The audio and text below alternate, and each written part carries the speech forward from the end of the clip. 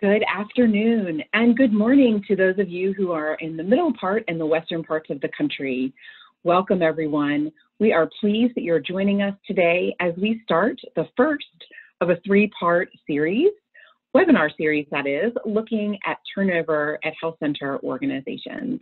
We know that things are especially hectic right now and we appreciate the time, out of taking the time out of your schedules to join us.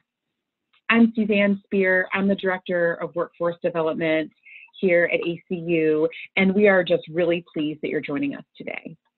Before we get started, a little bit about ACU. We are a national membership organization founded over 20 years ago as a National Health Service Corps alumni organization. And we've changed a bit over the years, but we remain committed to the health center workforce.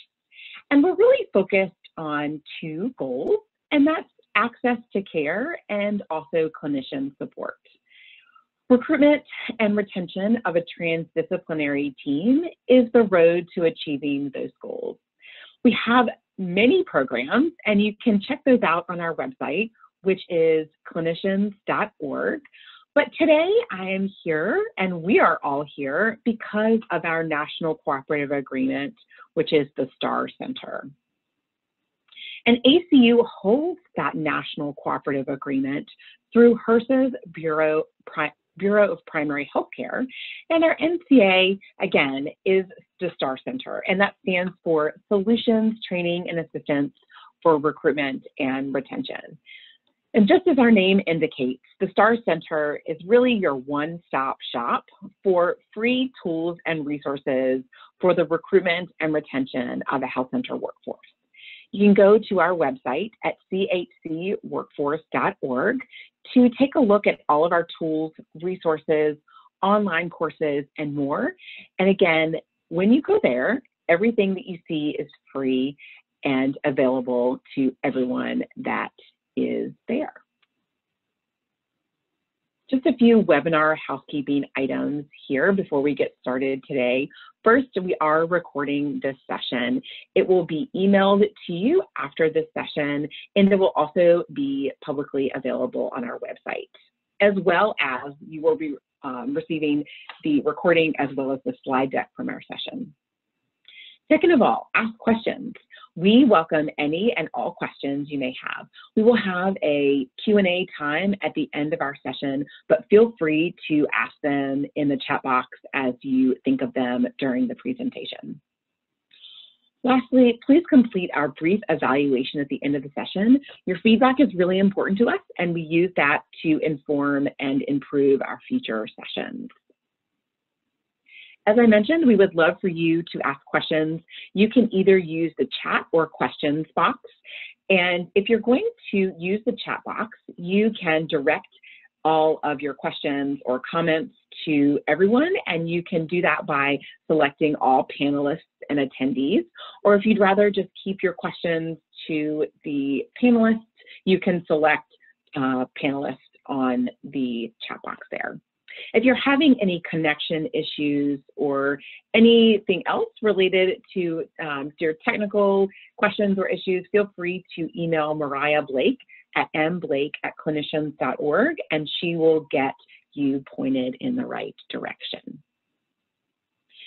So as I mentioned, this is the first of a three-part webinar series, and we really, with that three-part series, we have some goals set out for this all of these three webinars. So first of all, we really want for you to understand the impact of turnover at your organization and at organizations nationally. That's really what we're going to be unpacking today. For the rest of the series, we're also going to be learning how to identify organizational risk factors contributing to turnover and what folks you know, why are folks leaving your organization and what you can do to really reduce that turnover, and that's going to be that last part, uh, reducing turnover, that's going to be unpacked in the last webinar that we go through. And our hope is that by the end of the series, you'll really have some tools in your toolbox to take a look at turnover globally at your organization and then what you can do to combat it as you move forward. And we know that things are changing rapidly, but we really think that by the end of the series, you can get an idea of how to, to really take a look at turnover as it relates to you know, now and also in the future as we come back through this crisis. We are really thrilled to have some great presenters here with us today. In addition to myself, Dr. Torey Mack is going to be speaking to us, and she is the Deputy Associate Administrator for the Bureau of Health Workforce. And she will be taking us through and talking about the issue of turnover and specifically burnout and the steps that HRSA is taking to combat the issue at health centers. Then we will have Alexia Eslan, and she is the senior consultant at John Snow Incorporated, speaking about turnover and its impact on providers and organizations overall. Finally, I will be speaking about the financial implications of turnover and showcasing one of the STAR Center tools available to help you assess the true cost of turnover at your organization. And before I turn over turn it over to Dr. Mack, rather, I am going to be asking you a poll question. So Mariah is going to launch our poll question, and it is going to be available there on your screen. So in the past, how much has your organization focused on retention or turnover at your organization? So, so not really at all. We haven't really thought about turnover too much. We've really just been sort of focusing on recruitment at our organization? Have you be focused on it from time to time? It's been something that's kind of come and go, but you haven't really spent a lot of effort on it. Or are you deeply focused and invested in combating turnover as your organization? So take a minute and you know choose one of those. There's no wrong answer, but it just gives us a good idea of the background of the organizations at um, that are on this webinar. So if you guys wouldn't mind just putting that in there, just clicking the box and hitting um, hitting that button, that will be great. And we'll leave it open for about one, maybe about 10, 15 more seconds, and then we'll keep going there.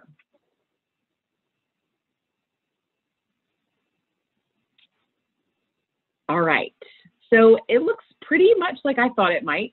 So the majority of you, 67% of you that answered the poll, really have focused on it from time to time, but haven't been deeply focused on turnover. So thank you guys so much for sharing that. And we will keep that in mind as we go throughout um, this one and also this series. So with that, I'm going to turn it over to Dr. Mack, who again is the Deputy Associated Associate Administrator for the Bureau of Health Workforce um, there at HRSA. So Dr. Mack, go ahead and take it away. Thank you so much, Suzanne. And hello and good afternoon to everyone. As Suzanne mentioned, I am the Deputy for the Bureau of Health Workforce at HRSA. I just want to briefly talk about our mission, which is to improve health of underserved and vulnerable populations by strengthening the health workforce and connecting skilled professionals to communities in need. So I've been with the Bureau a little over a year now, and I've really honed in on that strengthening of the workforce piece. And so that's what I really want to talk about today when I want to go through some, some slides about workforce well-being and burnout and how that's related to turnover and really highlighting some key ways that we can combat this issue.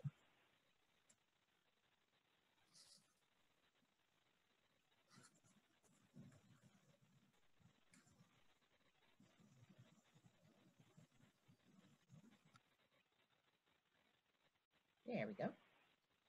And so what I'm going to go through today is first I want to talk about healthcare's triple aim, which is really about health system performance. And in talking about this, I'm really just honing in on where that one key area where it, it does miss the mark and where we could really broaden that to the quadruple aim.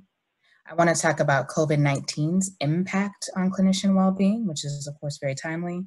I want to talk about clinician burnout next and why there are some high stakes for inaction and then how we can promote workforce well-being from a system standpoint and what are those targeted interventions that can help in almost every setting and program.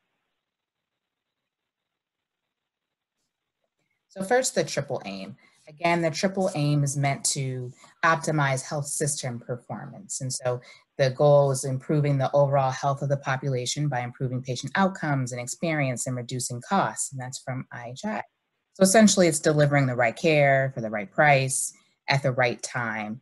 But really, it's very powerful. But really, there's just one very important piece that was missing from this, and that's the healthcare providers themselves.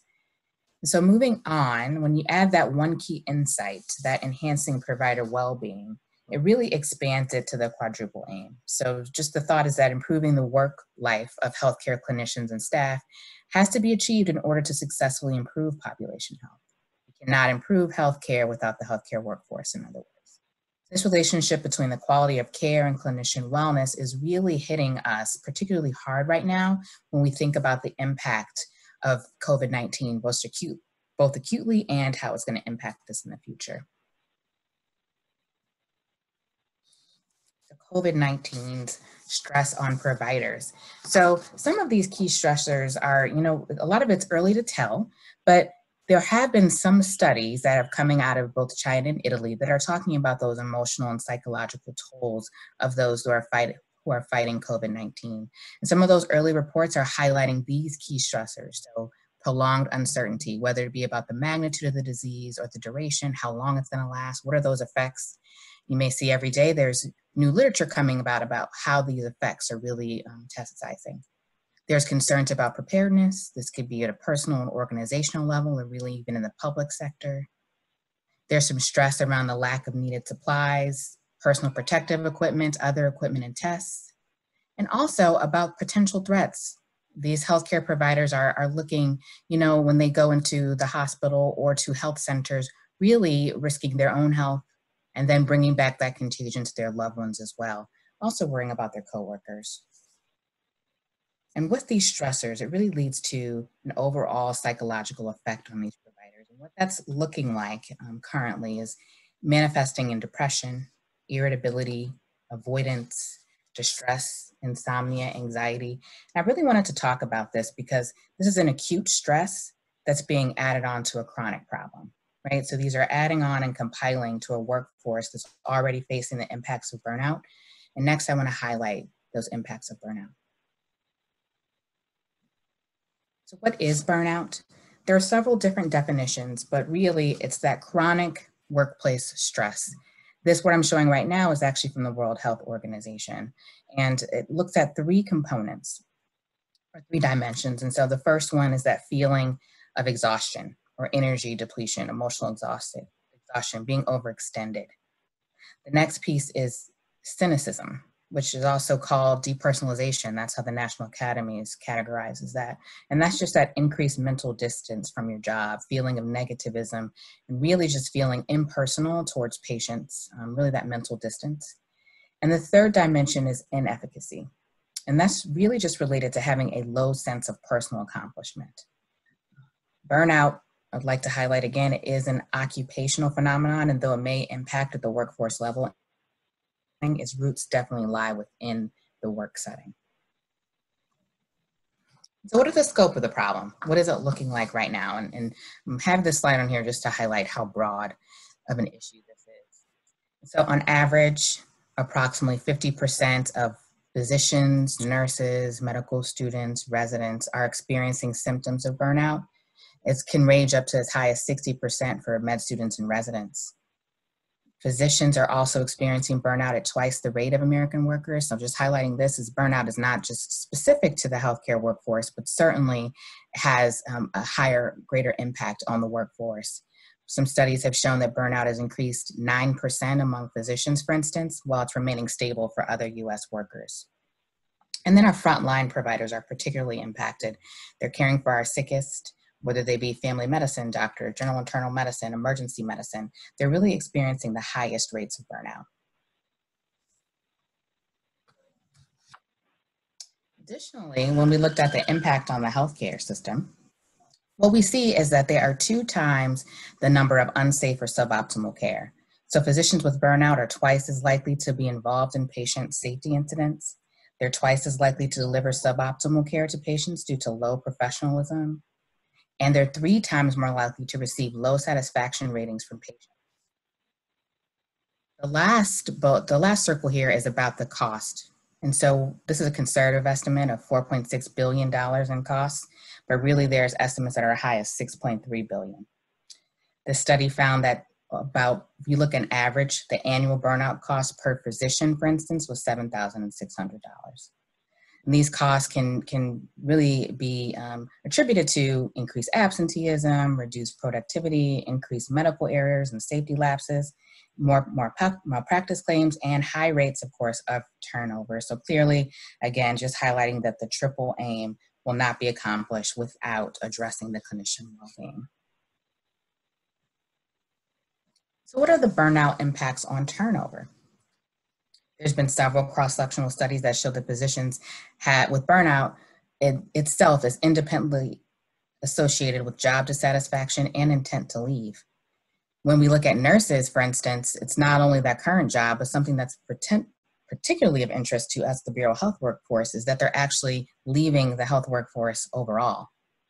There's certainly financial implications um, with turnover and with um, RN specifically.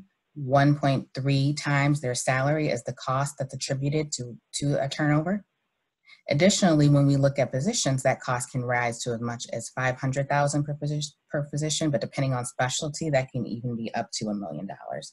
And these costs are attributed to recruitment, training, and lost productivity as well. Of course, this is not taking into account the cost beyond the financial, such as patient satisfaction, as I was mentioning, and the experience for other colleagues, as well as public perception of a health center as well. And I'd like to highlight here also that turnover is going to impact community health centers and those who serve the underserved even at higher rates, and that's been shown in the literature as well. So the good news is there are several protective elements and how you can counter burnout. The, you know, some of them are tangible and some are intangible, but these are all some protective elements that we can actually use. On the following slide, I'll talk about how you can have some systems-wide assessments and improvements. And so in 2019, the National Academies put out a set of, for eliminating burnout and enhancing professional well-being, and it highlighted these particular items that need to be addressed. So creating a meaning and purpose in work, having a positive work and learning environment, the alignment of values with the expectations, including on the job, having job control, flexibility, and autonomy, really reducing those administrative burdens. And this is key, whether it be laws, regulations, policies, standards, healthcare policies, health center policies, anything that sort of impedes and provides an extra burden on top of other stress. It's been really shown that any type of efforts to combat this are very, very helpful optimize workflows and the use of technology in a meaningful way, interdisciplinary team collaboration, which is something else that we really focus on at the Bureau of Health Workforce, has really been shown to counter burnout, and then having that supportive and effective leadership as well. So you can roll these up into some strategies to reduce burnout and what that looks like. Again, highlighting that this is a systems issue you're not going to be able to um, solve this just focusing on one on one clinician at a time. And I just want to highlight that because uh, a lot of in the early stages when folks were talking about burnout and talking about well-being, a lot of it was about the provider counteracting uh, characteristics or personalities that may be unique to a provider that can cause some of these issues. But really, counteracting burnout cannot rest solely in the hands of a provider. It's really that system issue. And so what I've taken here are some strategies, and this is from a 2017 article in the Mayo Clinic Proceedings. This is by uh, Dr. Tait Shanafelt, who um, works at Stanford and has done a lot of work in the area of clinician wellness and well-being. And first, it's acknowledging and assessing the problem. This is really important because organizations, you know, measure what they believe is critical to achieving their mission. I am a neonatology physician, um, currently not practicing, but I just recall how many sort of safety measurements we would do throughout the day in terms of how we were providing care and just how that was ingrained in us in terms of it being very, very important. In the same way, assessing and acknowledging staff well-being regularly can really add to the impact and showing that the organization truly cares about this issue. Harnessing the power of leadership and so part of that is actually selecting the right leaders. Um, and also, what are those leadership positions? Uh, do you have a chief of well-being or someone who's particularly over wellness or a wellness officer? Developing and preparing these individuals for these roles and really allowing them to regularly assess that leader's performance also to show that this is an important issue as well. The next one is developing and implementing targeted work unit interventions. And this is again, using the data, using what you find in that assessment to really drive what those targeted interventions are gonna be. Cultivating community at work is very important. That includes connection with colleagues, nurturing peer support, and this is in formal and informal ways, but really bringing staff together to talk and share ideas and to build and foster those relationships. The next one is using rewards and incentives wisely. And this is also important to be conscious of how you are using these carrots as rewards. Aligning values and strengthening culture. So again, creating that shared value to affirm. This really speaks to wanting to feel like you are effective in your job, right? How do we align those values and, and honestly seek some honest feedback about how your staff are about evaluating the organization and how you're living out those values as well promoting flexibility and work life integration is also very important. There's multiple ways to do this, and a lot of the most successful ones are really driven by the staff to have them come up with what are those typical barriers and how can they be overcome, whether it be some flexible start times, reduction of hours, and so how do we do that but still know that we need to meet the organization's needs. Providing resources to promote resilience are important. Again, I just would highlight that these can't be done in a in a silo. So they're best received when they're part of an overall effort to address the systemic and environmental issues, or else you risk sending that message that the individuals themselves are the problem.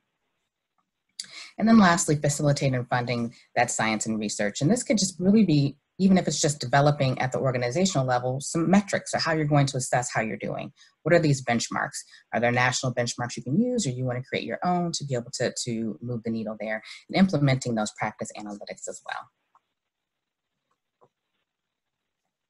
This here is wanted to talk about um, the Bureau of Health Workforce, sort of how we're thinking about provider wellness. We, we're continually looking for ways in which we can support provider wellness, whether it's during the education phase of our practitioners, training, or service. Our, our efforts are across that whole continuum, again, focusing on rural and underserved areas and communities, which we know are hardest hit, both the patients and the providers themselves.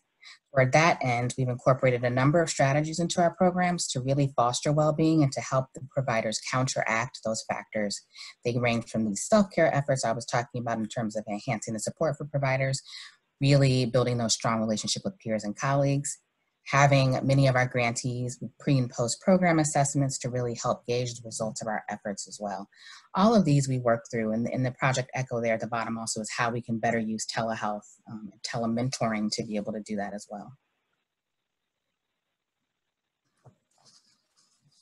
And I won't belabor this one, as I know there are folks on the line who, who can speak to this in, um, in great detail. But we're also taking steps at HRSA among other things, our Bureau of Primary Health Care, which is our sister bureau, a sister bureau to the Bureau of Health Workforce, has recently launched an initiative to study that question. And we really won't see the results for a couple, um, for a while, but we really expect this to be quite enlightening. And this is to study the factors that are affecting provider well-being, which ones are gonna rise to the top among our health center workforce, and what we can do about it.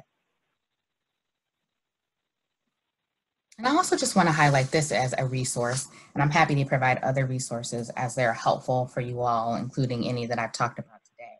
But a year ago, HRSA issued a special edition of the Primary Healthcare Digest, which was focused on the issues of workforce engagement and well-being, has a plethora, is really rich in resources of all types on these issues, and it can really help launch a wellness program. You can help find you some materials to expand any program that you have get a chance, I would encourage you all to take a look because, of course, a healthy, engaged health center workforce is one of our highest priorities as well. And just to close out, just, you know, end where we began here with the quadruple aim, I did want to just leave this one quote that I found moving from that Mayo Clinic proceedings I referenced. That is, any healthcare organization that recognized it had a system issue that threatened quality of care, eroded patient satisfaction, and limited access to care would rapidly mobilize organizational resources to address that. Burnout, as the author emphasized, is precisely such a system issue. And I just highlight even more so now in the face of this acute on top of chronic that we're seeing right now from, from COVID There are high stakes for inaction, but there are targeted interventions that can really help in almost every setting and program. And it's really something that we need to embrace in order to recruit and retain staff and build a healthier population overall. So thank you all.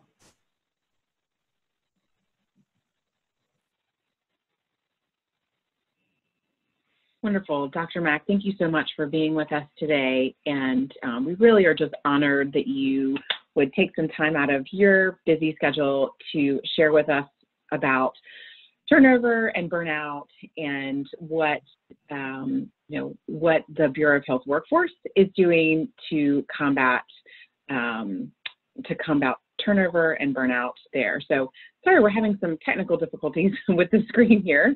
There we go. Um, and um, we're going to, I'm going to hand it over in just a minute to Alexia, and she is going to talk to us really about um, national overview of really what's going on with turnover nationally and how it affects both individuals as well as organizations uh, themselves. So um, again, thank you to Dr. Mack. We will have a time for question and answer at the end. Um, but until then, we'll uh, keep going with the rest of our program. So I'm gonna give you control over the screen, Alexia, and then you can take it away. Wonderful. Thank you so much, Suzanne, and thank you, Dr. Mack, for that overview. Um, before I dive into uh, the content, I just wanted to give you a little bit of an overview um, of JSI. So I'm uh, I'm a senior consultant at JSI. I've been at the organization for over 12 years, really focusing a lot of my work working with uh, safety net providers and the health systems that they work in, and uh, looking at how those can be improved and how they can uh, form strong partnerships.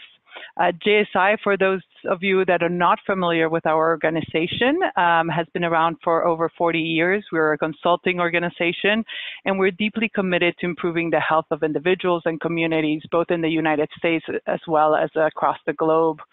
Uh, we work across a full range of public and community health areas, uh, strengthening health systems to improve services, and ultimately, what's most important in improving individual and community health. Um, so with that intro, uh, let me jump into uh, the provider retention and the national overview. I thought I would start off with a few statistics, and this is building on what Dr. Mack had shared. Um, I know um, she spoke quite a bit about the burnout piece, which is a very important factor of um, retention. Um, so According, we have a statistic here, according to the Bureau of Labor Statistics, uh, the demand for physicians is growing at 13%. Uh, so competing for and retaining talented physicians will only become more of a challenge. It is important that the healthcare organizations take a deep dive into looking at physician retention, why physicians leave, and interventions that could prevent staff from seeking other employment. Um, in addition, uh, growing aging population as well as with pandemics like COVID-19, these demands are only exacerbated. Um, there is not too much research on uh, retention, and that's why it's uh, this is one of the reasons why HRSA, ACU, and their partners are focusing on this important issue. Um, data from 2012 from the Cejka Search and the American Medical Group Association Physician Retention Survey show that the average physician turnover rate um, is was 6.8%, and that was up from 6% in 2011. And it's even higher for advanced practice clinicians such as uh, physician assistants. The survey also shows the uh, persistence of high turnover in the first years uh, with a practice, um, which seems to indicate that many physicians and hiring organizations may lack an accurate assessment of culture, career motivations, and satisfaction with the location on the part of um, both the provider and maybe their significant other. Um, there's many other reasons that also affect turnover. And the turnover rate uh, drops below the yearly average after year five. Um, so that's a key factor there as well. we heard about burnout and lack of engagement from Dr. Mack and how those are highly correlated to lower retention rates. And especially primary care physicians have among the highest rates of burnout. Um, organizations must create an env environment that actively engages employees. Um, if not, some will leave and maybe even some might leave the, the practice altogether. So there's a stat that shows that dissatisfied physicians are two to three times more likely to leave practice. So definitely an important issue at both uh, at the national level. Um, another very important um, reason to focus on this is cost. Um, this here is um, some numbers from the Association for Advancing Physician and Provider Recruitment, and they estimate that when looking at all these various factors for a physician vacancy for a 12-month period, including the recruitment and startup costs for a new physician, the cost to the organization could be up to $1.2 million. Um, so you can see the breakdown here on the slide. Um, this is an average.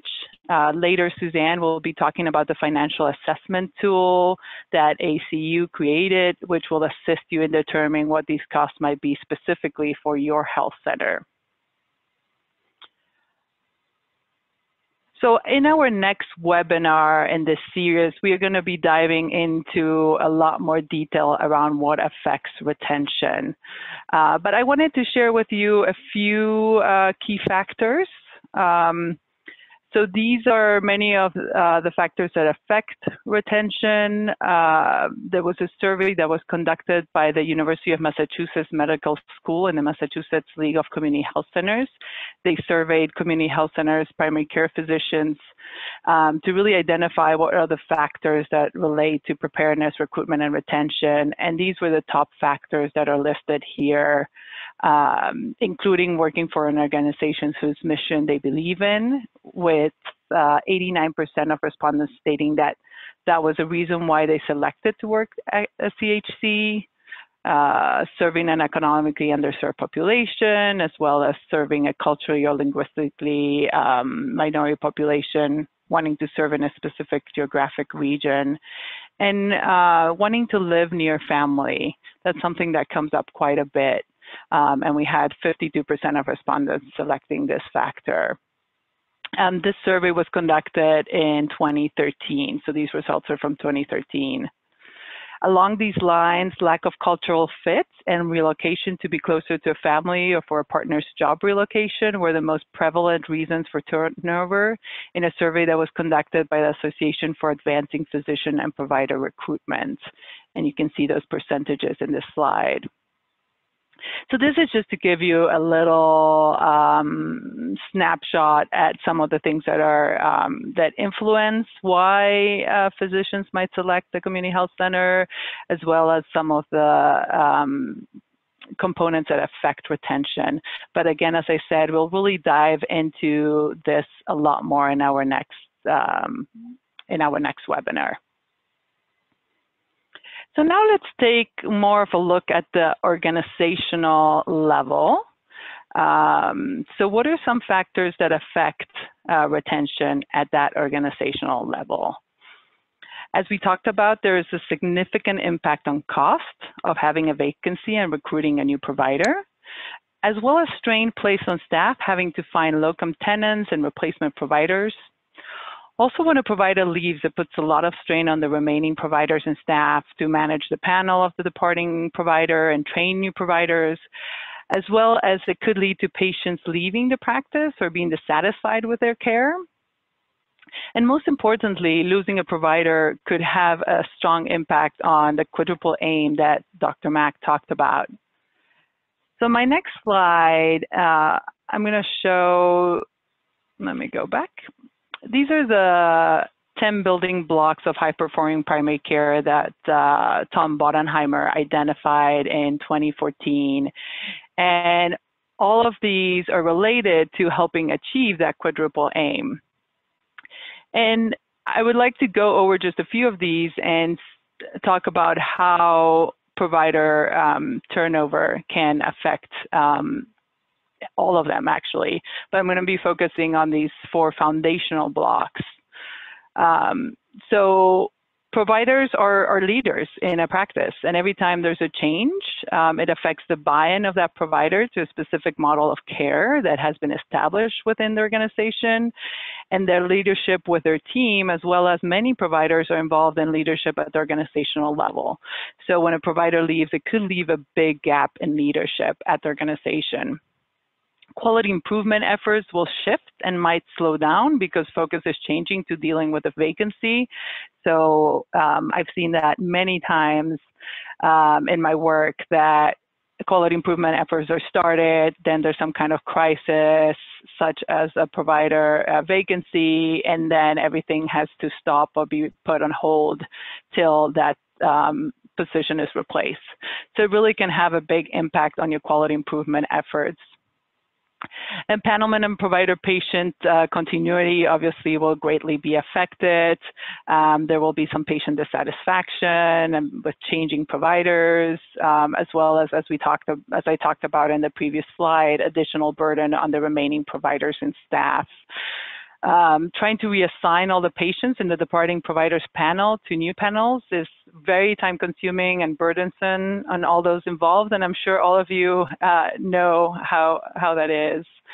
Um, and obviously the team itself um, will have to shift and um, it could create a big impact on how the team is operating together.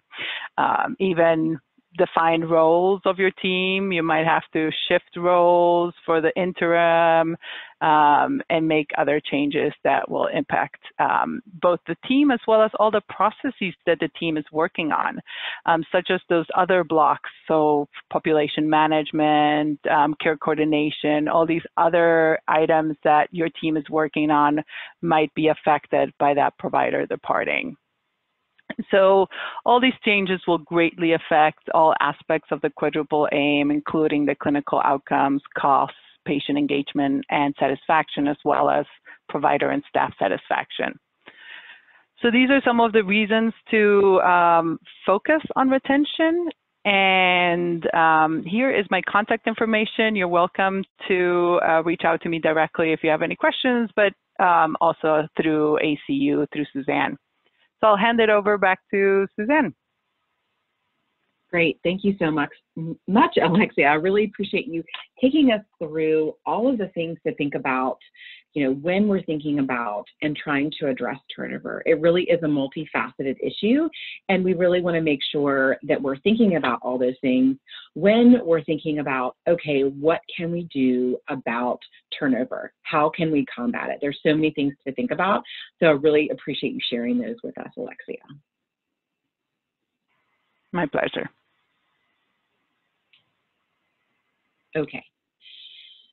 So as we move along here, so we've gone through really a few things. So Dr. Mack talked us talked to us about, you know, the priority of turnover and burnout as a national and federal organization and the care and the thought that they're putting into it as we think about providers and the organizations and frankly, which and, and the, the patients in which we serve.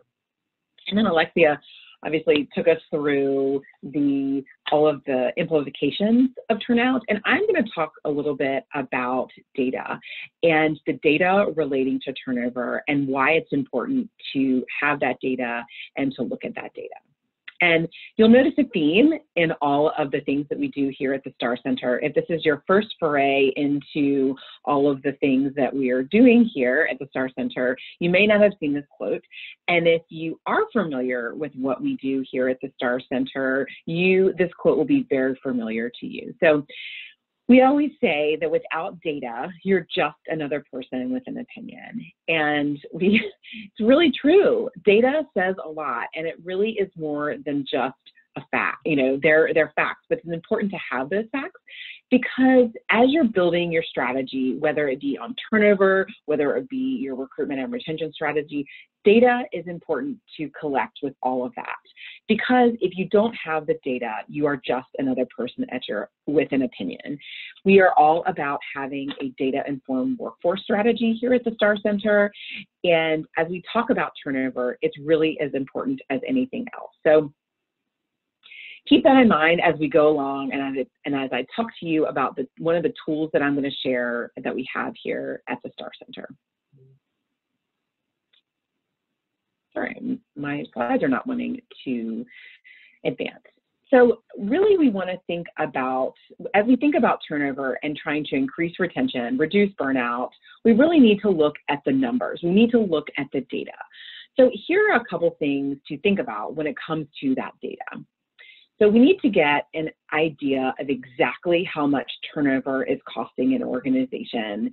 And I know Alexia mentioned some numbers about, you know, 1.2 million. Well, that is globally really you know, nationally sort of an average. And there are lots of different factors that can change as we go along into, as we think about retention, about offboarding and onboarding.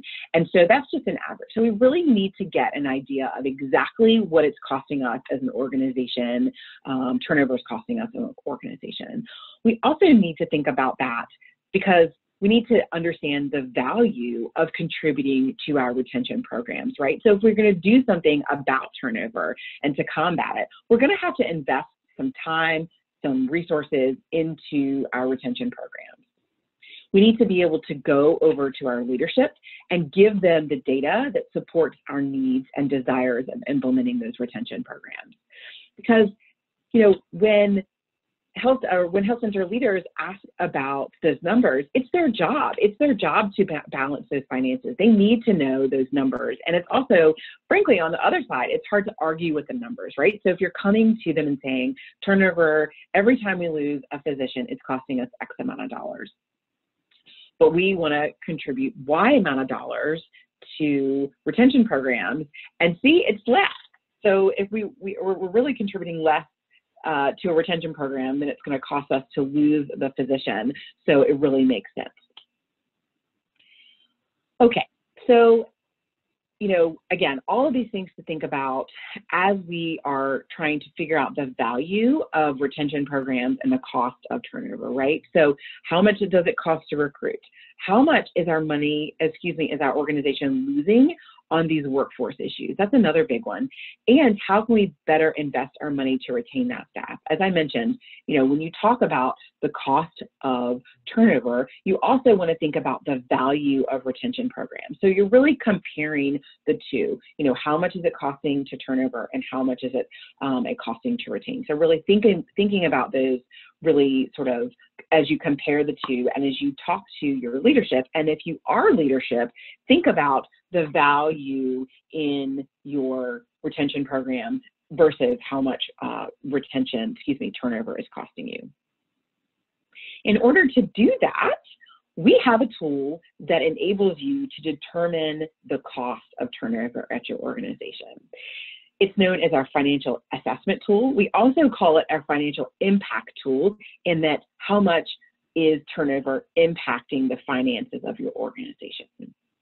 So it's going to give you the actual cost of provider turnover at your organization. We're going to take a look at it in our in our uh, subsequent slides here, but really overall, it's going to take it and have you look at exactly how much turnover is costing at your organization. There are a lot of different factors and every organization is different. So it's really important that you take this and you take it and actually fill it out as your organization and you know taking those those numbers that Alexia introduced, those are important to, to start to start at, but it's really great for you to be able to utilize this tool and determine exactly what the cost of losing a provider is costing you your organization, because again, then it's going to determine the value of your retention programs. This tool is focused on both physician and non-physician providers. It has tabs for each, so you're able to go in and fill those out so you can determine what those costs are for each of those disciplines. And it's a downloadable Excel file. So it's it's able you're able to customize it completely to your organization. If there's some costs that are not in there that are that you want to include with either you know uh, with any of these different different items you can ab absolutely put in, them in there and you can make it your own. So again it's completely free and it's downloadable and so you can easily use it and customize it for your organization. And this tool takes into account all of the costs of turnover. Oftentimes when we talk when we think about turnover we just think maybe about lost revenue or the cost of recruitment or you know name 10 things right?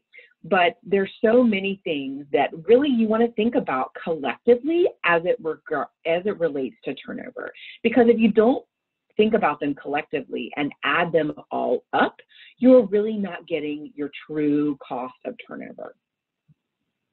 So you want to think about several things. You want to think about separation how much does how much do we have to pay the physician or the other provider that we're losing vacation time? If it's that's something that you that you do when someone separates from your organization?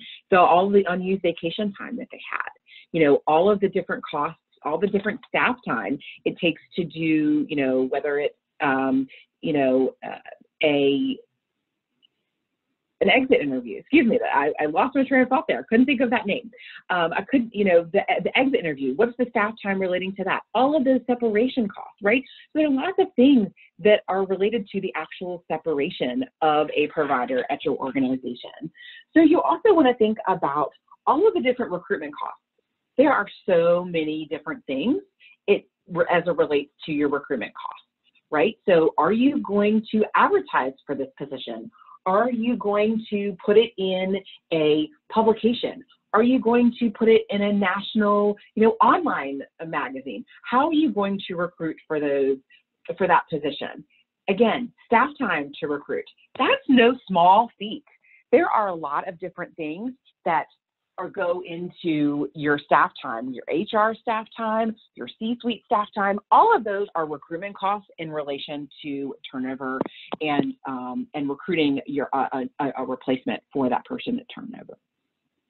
Onboarding, again, this is staff time. This is lab coats. This is business cards. These are these are these are any other equipment relating to bringing a new physician or a provider on board at your organization. All of those are costs associated with turnover. And finally, engagement.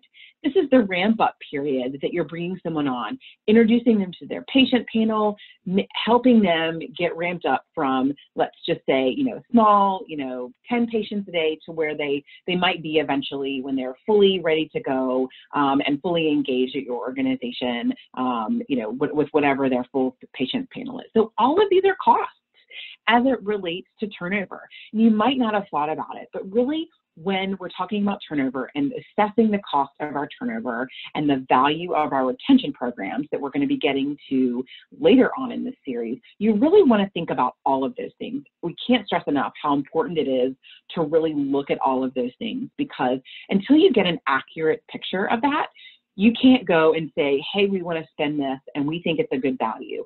If you have the, an idea of the cost of turnover, you'll be able to have a great case for the value of those retention programs and that you want to put into place.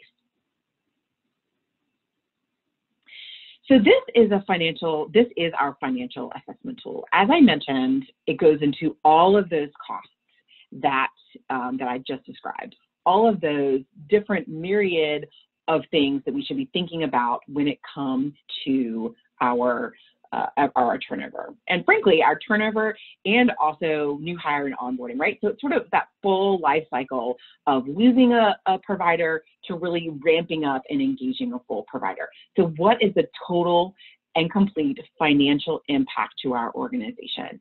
And again, all of these things, as you can see here, it really is a great way. It gives line by line all of the different things that could be involved with it. Um, and obviously, we're not going to live demo it here today, but it's it, you can play with it easily. There is also some you can put in your own costs in the in that column. It also has a nationally available cost uh, available there. So you can you can put those in if you're you know just want to get an idea of where you know or where your organization falls, whether it's more or less, whether your financial impact is more or less than some of the nationally available data. Um, but that would be a great place to start just to see okay exactly how much is it um, with all of these different things um, in there and then you can add your own data in from your organization to either take it to leadership and say, hey, this is exactly how much losing a provider is costing us, um, and then you know losing a provider and then onboarding a new one. And if you are leadership, it's a great way to open your eyes to the cost of it. And I know that we're in a definitely um, we're in a much different space than we were even three months ago and finances are more important than ever. So as we think about, you know, how to retain, how do we retain those people that are on board? How can we either financially incentivize them or bring some more programs on board or wellness or what have you, really thinking about all of those things as it relates to this, the, the really unique time that we're in, it really is more important now than ever to take a look at what turnover is costing us. And you know, we understand that that some turnover is just completely inevitable. You can't keep someone forever, um, you know, whether it be because they're moving away or they, you know, they just want to do something different with their life. You can't can't control all of it. But as we think about the specific pressures that we're under right now, it's really important to get an idea of how much that turnover is costing you, so then you can provide, um, you know, provide your organization with that, you know, with that calling card, figuring out how much you know, if that's costing you so you can determine how much your, you know, the value of your retention program for your providers and frankly for all of your staff. I know we're, we're focusing on providers today, but you really want to think about this um, from a staff point of view as well. Okay, so we've covered a lot of ground today and talking about the systemic problems of turnover and burnout and really getting an idea of how all of those things affect your organization. And as we look forward to our next few sessions, we are going to, you know, go through, you know, you know, go through a bunch of different things and eventually figure out how we can reduce that turnover to organization. And next week, we are going to be taking a look at sort of the middle block here. We're going to be really looking to identify and understand all of those different factors that contribute to turnover. We uh, Dr. Max talked about some, and also Alexia talked about them, and really trying to figure out exactly what things, why are people leaving your organization?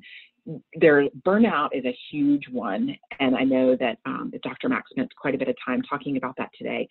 And there are also some other things that you know that why people leave. These are things that we can do something about.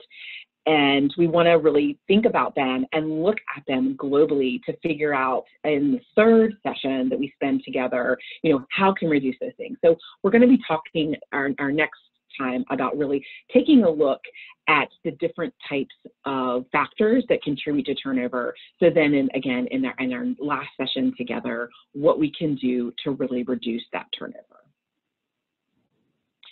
So our next session, as I mentioned, is on those operational factors contributing to turnover, and it is next week at one o'clock.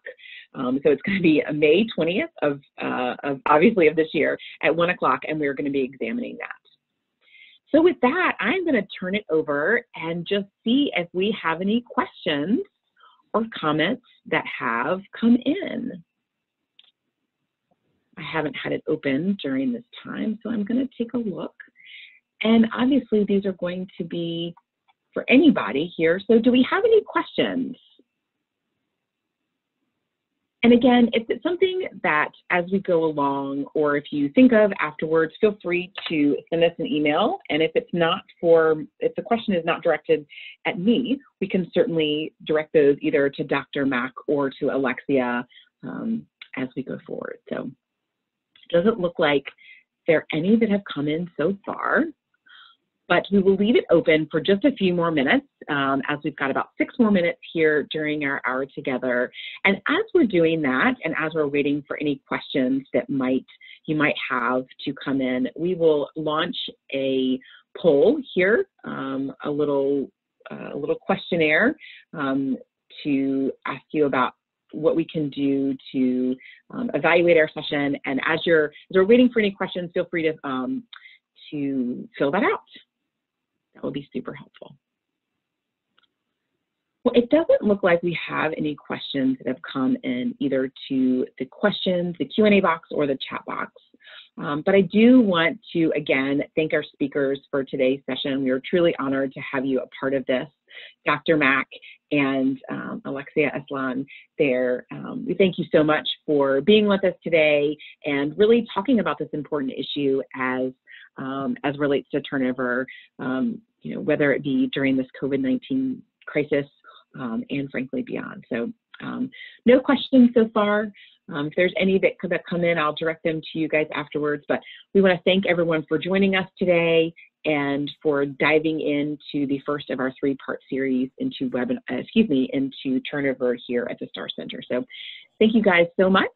Thank you to our presenters and thank you for everyone for being a part of us uh, being with us today, and we will talk to you next week.